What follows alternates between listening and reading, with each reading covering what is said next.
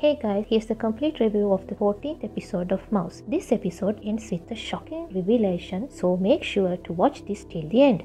Honju goes back to the prison with the hope of interviewing Jae-shik again because it is the day he's getting released. She calls Bahram and asks for Dongkook's number. She meets him on his way out of the prison and offers him a ride. On fearing Honju might get into trouble, Bahram follows them. While they are driving, Honju offers him an apple and tells him she knows he's the serial killer. So he kidnaps Honju and as he prepares to kill her, Bahram arrives. Before he kills him, Bahram records him confessing to his crimes and send it to the broadcasting station. Mochi arrives and see Honju tied up but unable to catch Bahram. After recognizing Bahram, Bongi flushed the flash drive. She goes to meet him but Bahram walks away saying he's not the person she thinks he is. Boncheol's name gets cleared and he gets released to attend his daughter's wedding. Bahram's aunt visits him to tell she'll be moving to US because her husband got a job there. Bahram asks her to take the kittens because her son seems to love them. Mochi finds Bongi in front of the police station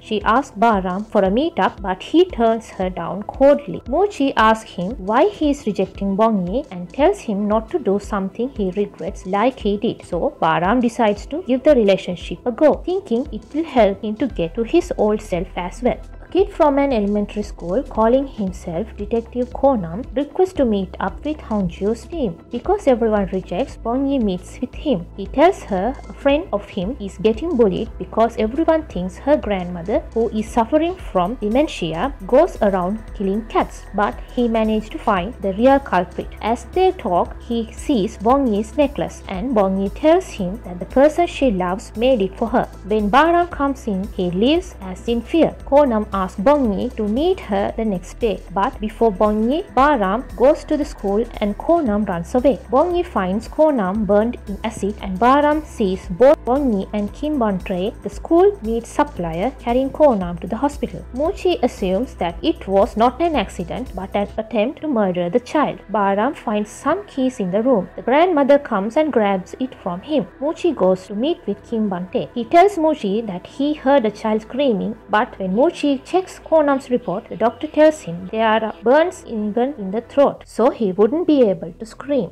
The grandmother comes to him asking for meat. He gets disgust for selling him off to the police. When she opens her lunchbox, he sees the keys and take it from her, giving her a devilish smile. Bahram goes into his shop as a customer. He sneaks into his house, but Bante gets home before he could leave. Bahram sees him hiding the keys the grandmother grabbed from him. The key opens a musical box and in it he sees photos of Bante and his friend torturing animals and a child. We see Bante is the one who has attacked Konam. Since Bongi saw Konam, Bante got no choice but to help him. Bahram hangs Bante in a meat freezer and burn him in acid. But the time Mochi gets to Bante, he is already dead. Instead of killing Bante's friend, Baram corner him so he gets caught by the police. Baram realizes that his instinct to kill is fading, so he tells Bongi to wait for him until he gets completely cured. Baram and Bongi then share a kiss. Mochi goes to Bahram's house and the two have a drink.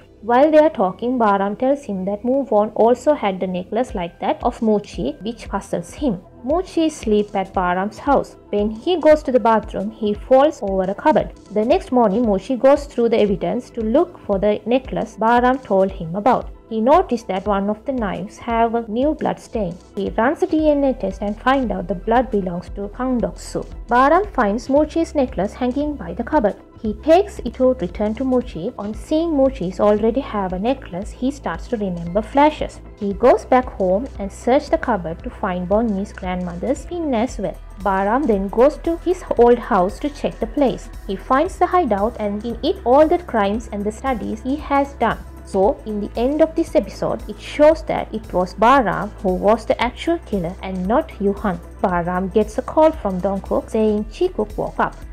That's the end of this episode guys. Make sure to check the next. Thanks for watching and see you again.